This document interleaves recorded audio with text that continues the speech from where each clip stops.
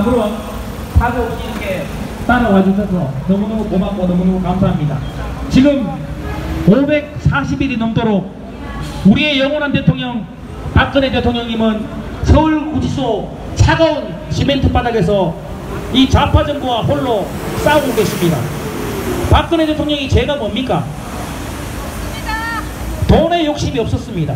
오직 대한민국, 오직 국민들 그것밖에 없었습니다. 너무나 순수했습니다. 너무나 순수하고 착했기 때문에 탄핵 부역자들과 문재영이한테 탄핵을 당한 겁니다. 여러분 제 말이 맞습니까?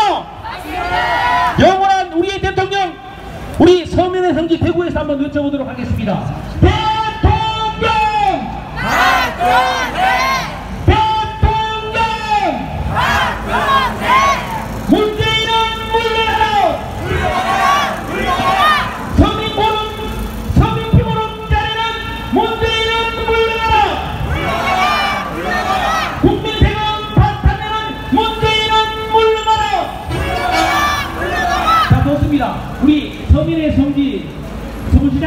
왔으니까 우리 아주 재밌는 노래를 한번 듣고 이렇게 집회를 마무리하도록 하겠습니다.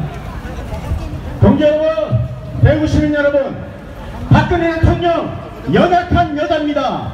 여러분들이 보기에는 연약한 여자지만 그 여자분 한 분이 이 나라에 지금 없으니 이 나라가 공산화가 되고 있습니다. 여러분들 KBS, MBC, 3D 방송에 속아서 여러분들이 지금 눈과 귀가 멀어 있습니다. 우리 박근혜 대통령은 아무런 죄도 없이 지금 감옥에 갇혀 있습니다. 그 대통령이 없기 때문에 이 나라가 지금 공산화가 되고 있습니다. 대통령은 박근혜뿐이다.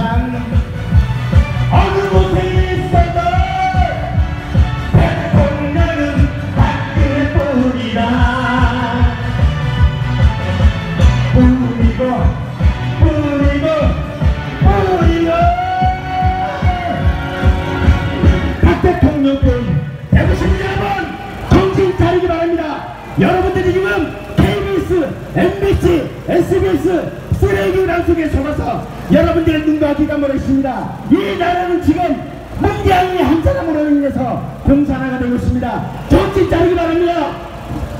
아이고, 아 노래 좋다 그죠?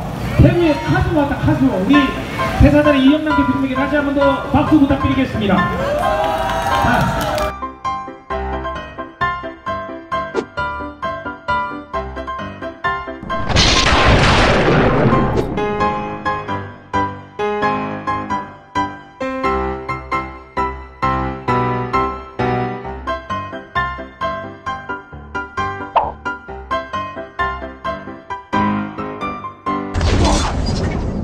사무시장에 왔으니까 아 키크고 잘생긴 우리 아웃도시 정주의 우리 유도한 사무총장 모시고 좋은 말씀 한번 들어보도록 하겠습니다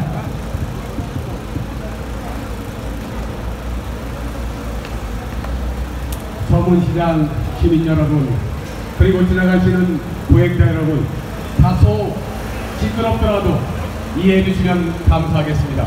우리는 전쟁을 원치 않습니다.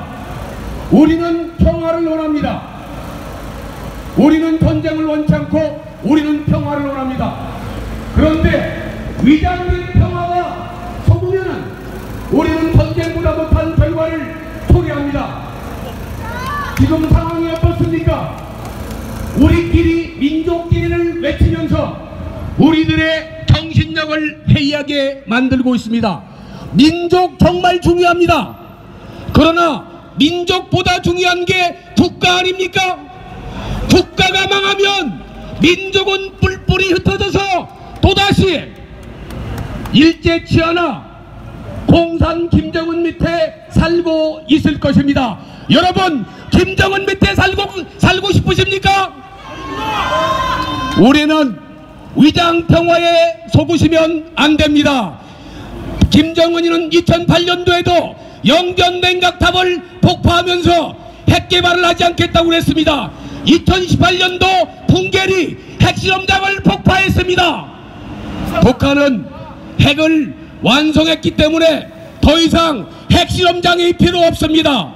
더 이상 필요 없는 핵실험장을 폭파하면서 마치 핵을 포기할 것처럼 우리 국민들을 속이고 있습니다. 이것이 바로 위장 평화입니다. 한 번 속지 두 번 속으면 안 됩니다. 지금 대한민국 경제는 망하고 있습니다.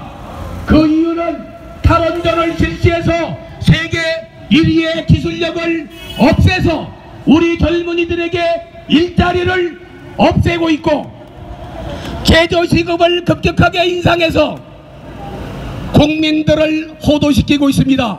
제조시급 누구나 돈을 많이 벌고 싶습니다.